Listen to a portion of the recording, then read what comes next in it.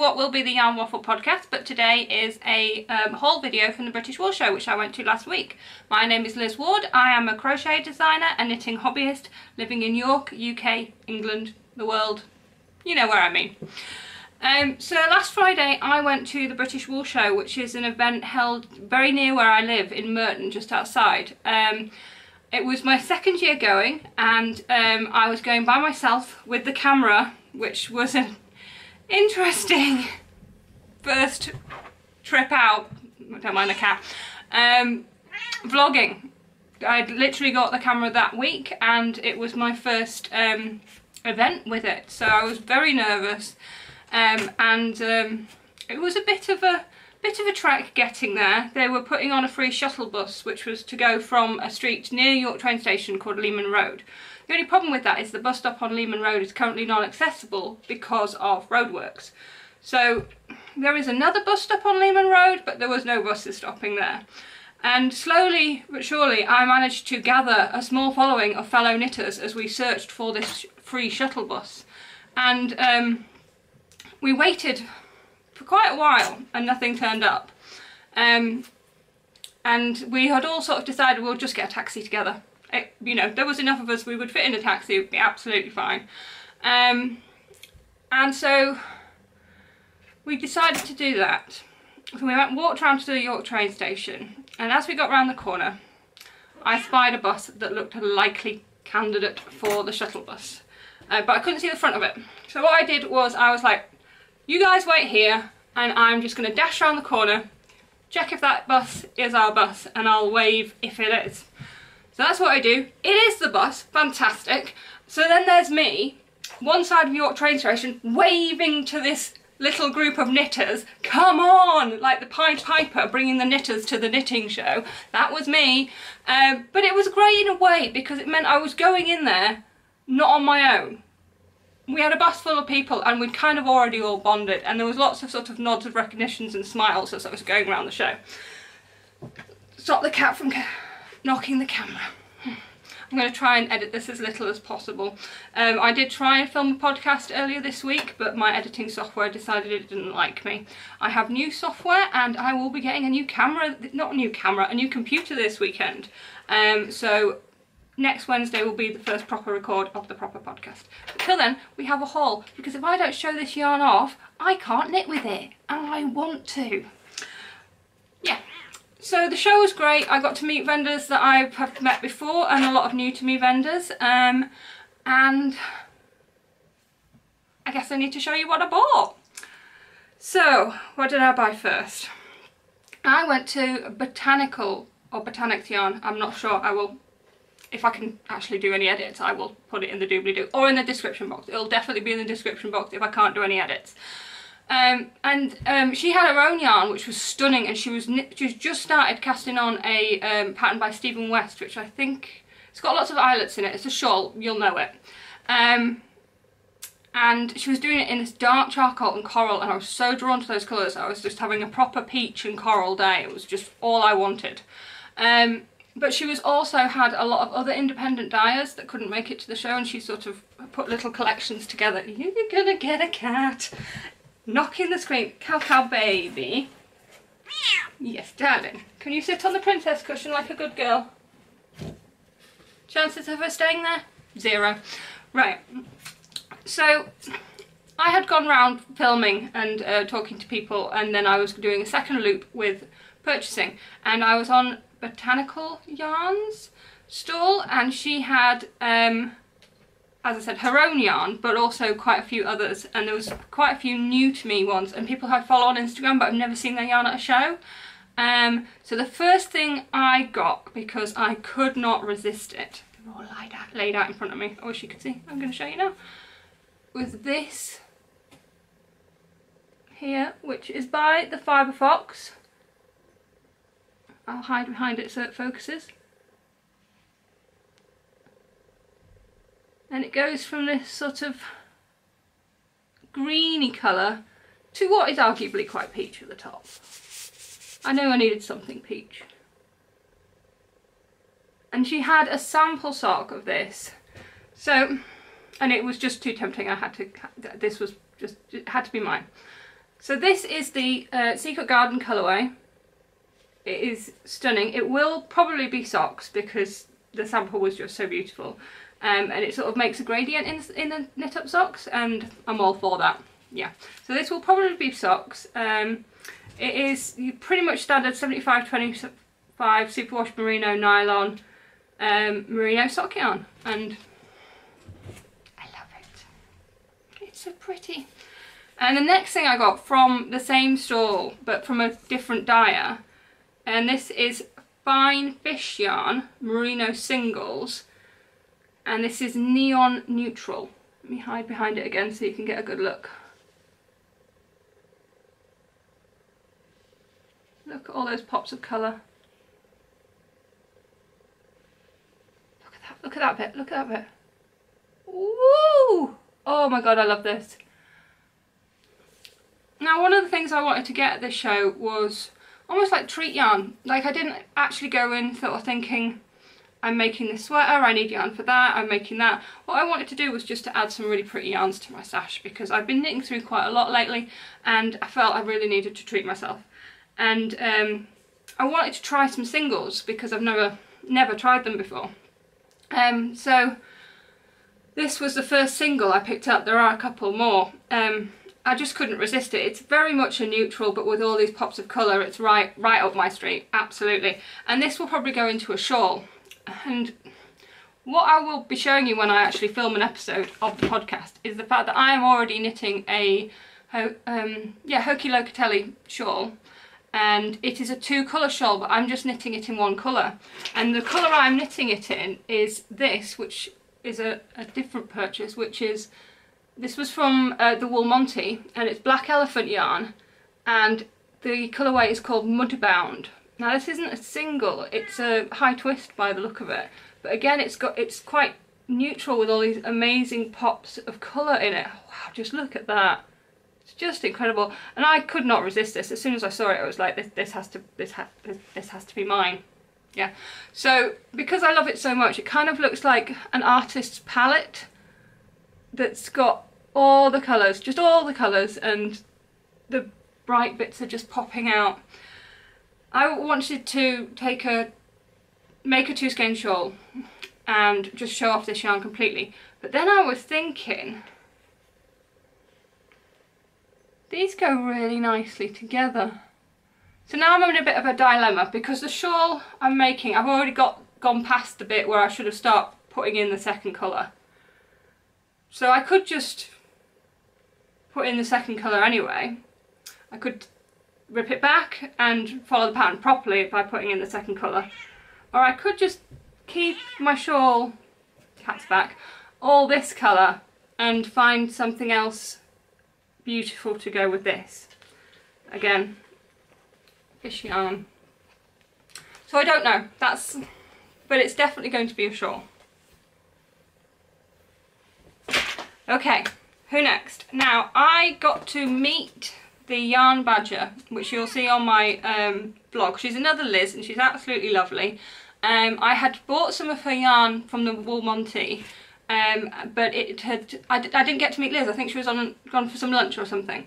Um, so it was really nice to get to, to talk to her and she did she talked us through some of her yarns which is on my vlog video and you can see that and I picked up her new colourway which is called Seaside Rock and she posted a picture of this on Instagram and I was just all over it. It was it's so it's a self-striping yarn which I absolutely love self-striping yarn.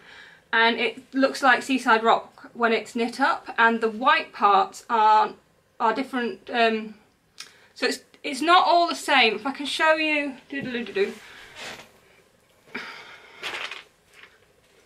so can you see how all the stripes are the same length? This is also a yarn badger yarn. On this one the yellow, the white stripes are finer so it gives you that sort of it just looks like rock like seaside rock from the seaside seaside rock from the seaside.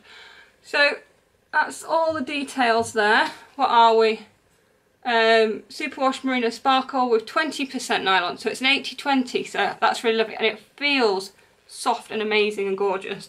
And I get this will be socks. it will, it will probably, I'll probably make it into two pairs um, because with contrast heels, toes and cuffs I can easily do that. And for what is rightfully an expensive yarn, self-striping is not easy to um, dye up. It is, I mean, I, I, do it myself and I probably do it a hard, harder way. Um, and I'm hoping to be able to make the way I dye it slightly easier. But it's, it's an incredibly labour intensive process. Um, so I am literally going to use every single scrap of this yarn and I will get at least two pairs of socks out of it. I might even get three if I do some shorty socks which would be quite cool. It'd be an interesting experiment actually to see just how many pairs of socks I can get out of one skein of yarn. Love this though. Okay what's next? Ducky Darlings. I have a real weakness when it comes to Ducky Darlings yarn. I have a quite a stash out of it. Um, she did a Good Life collection based on an old 70s sitcom, which I grew up on and absolutely love.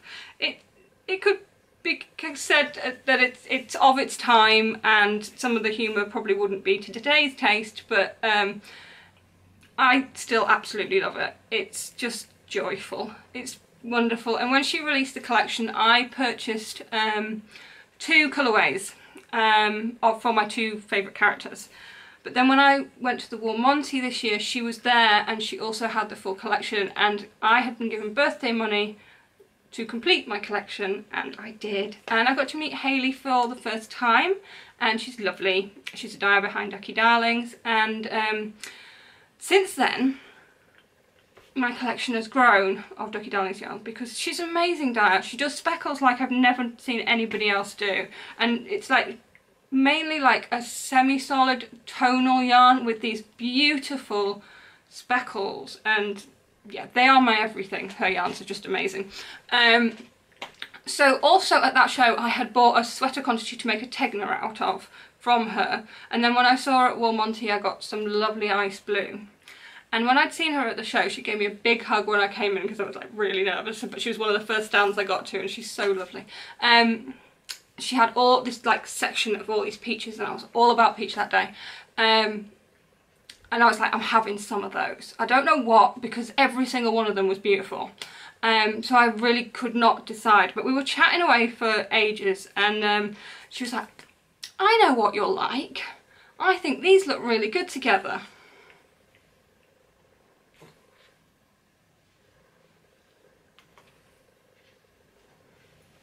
Yes.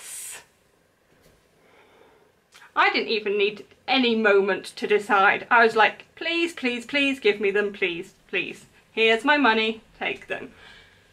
So we have Knit Why Not, which is the palest colour, and I think they're all the same base, which is, it's an 80-20 base. Oh no, this is an 80-20 and these are 75-25, um, but they'll all be used together.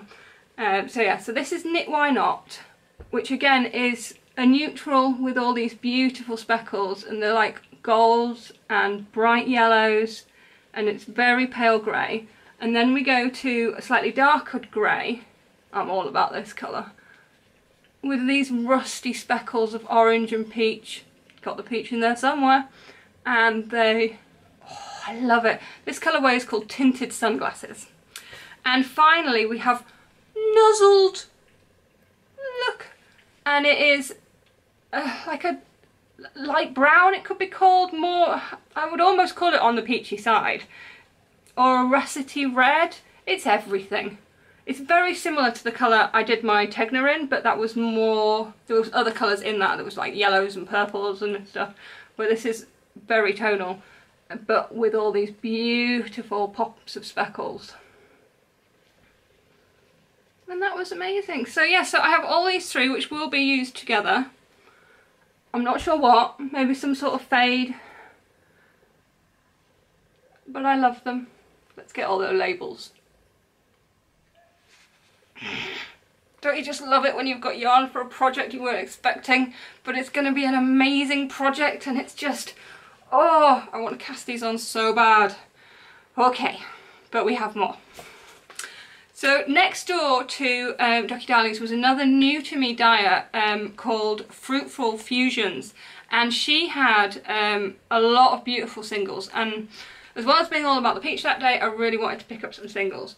Um, but her stall was beautiful. If you've not seen my vlog, go and have a look because she's right next to Ducky and I I'm hovering for a long time looking at all the beautiful yarns and I, I really couldn't decide um, but this one especially particularly was drawing to me. I'm not really one for the blues and greens. This one is called this one is called Red Sea Sepia. It's um, a single base and it's 100% superwash merino and this I think is the same but this is the freshwater colourway. Now I picked these two up because they're a very low contrast, but I thought they'd work perfectly in a two skein shawl. I do apologise about the cats. You, There are always going to be cats in these videos. I can't stop them being around. They think I'm talking to them, not the camera. Um, yeah, so this is going to be a shawl, a two coloured shawl with low contrast but amazing. And again, you can see the pops of colour and speckles in there. They are just incredible. We go. Aren't they beautiful? Yeah, so this is Fruitful Fusions. And she's a dye, I think she I think she said she was from Derbyshire, but whatever information I have, I will put in the down box below. And that's nearly it for yarn. But something a bit wonderful and a bit got me a bit oh hmm I'll go again um because I was set I hadn't, I still haven't released my first podcast episode, but I was talking to people about the podcast because I was blogging. Um, and Haley, who is Ducky Darlings, um, and as I have already said, one of my favourite dyers, and she will remain one of my favourite dyers, not because of this, but I do take bribery very well. Um, she gave us a skein for a giveaway. And this is a DK weight and she picked, she got me to pick and I have seen this skein on her stand a few times and been drawn to it. So I was like yeah. And this colourway is called Trick or Treat. So I thought by the time Halloween comes around or before Halloween so we could maybe have a giveaway that ends at Halloween or we could have a knit along that takes us through Halloween because I have some pumpkin sock well a pumpkin sock pattern coming out fairly soon. It was meant to come out last year. That's how soon. I'm good at these things. Um, yeah, so we have a giveaway, giveaway prize, but not just one. Because the beautiful lady at Fruitful Fusions, I'm sorry I've forgotten your name, um, also gave us a giveaway prize. This is bonkers. I have no, I have barely any subscribers and um, I haven't even released a podcast but we have giveaway prizes people so there will be giveaways and knit-alongs and all the things and uh, so yeah this is just so wonderful. I will also be putting together some of my handmade bags, uh, my own yarn and blah blah blah. We'll figure it out as we go, as we bumble along. Um, but this colourway is again by Fruitful Fusions um, it is a 75-25 called Rust and Denim and I got um, her to pick this one out as one of her favourite colourways and isn't it amazing? It's just, can you see all those pink and red pops just here? So if you want a chance of winning one of these two skeins plus lots of little extras that I'll be throwing in, um, subscribe because everybody who subscribes between now and let's say Halloween will be entered into a prize draw. And there will be lots of videos so there will be stuff to entertain you between now and then. Um, and we'll work out a knit along or a craft along or something but we have prizes. How amazing is that? And beautiful prizes too. So thank you so much to Ducky Darlings and Fruitful Fusions yarn um, companies because I was incredibly touched by that um, pretty speechless to be honest. And that was about everything. I had I had taken cash because um, the venue had suggested that because it's out on a farm and the Wi-Fi is not great. And I had literally only £20 left of my money, my budget that I had taken. And I was going round to um, a stall I'd seen um, and On my way there, I was waylaid by somebody who does the most amazing artwork. Now I'll put all his details if I can in, well I'll put in the description box, I'll shut up. And um, he'd made all these sheepy pun pictures and I was flicking through, giggling away to myself because they were all hilarious and I love a good pun. I'm English, we all love puns. Um, and I I'm wanting to decorate the um, the wall, so I was like, I need one of these prints. And as I was flicking through, I couldn't decide. And I was like, I could get a couple because the prints were less expensive than the framed ones. And, and oh, it was so tempting. And they were all, all so cute and all sheeps and all woolly related. And then I decided to go for this one. YouTube! Amazing? Oh, I love it so much. Now, the designer, um, I can't remember his name, the artist, sorry. Um, but yeah, so until we reach however many subscribers it is that we need a play button for, our YouTube will go there.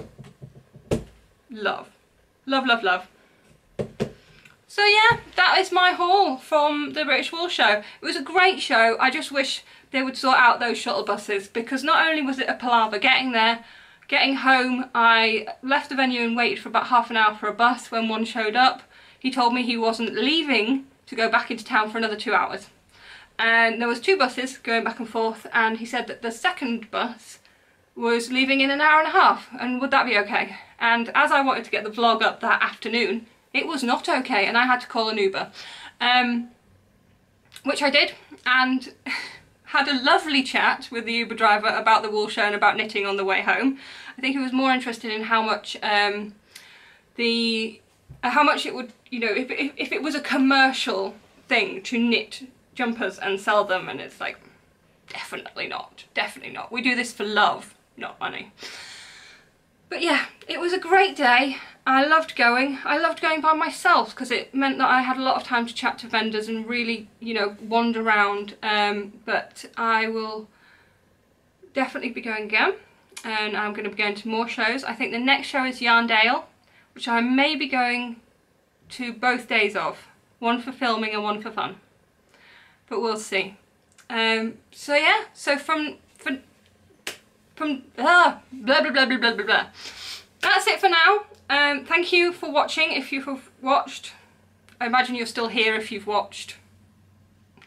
Um, yeah, I am Liz Ward. This is the channel for the Yarn Waffle podcast and uh, you can like and, and subscribe and click the bell button and I will see you next Wednesday when I will be filming and uploading the proper first podcast. See you then. Bye!